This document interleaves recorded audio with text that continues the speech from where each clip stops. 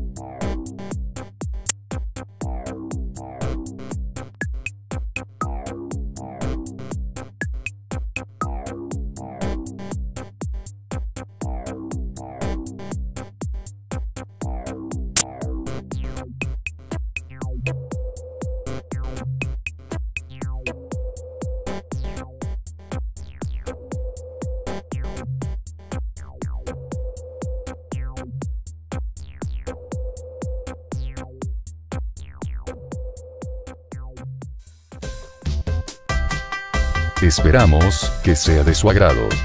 Julio Ferrá les desea lo mejor.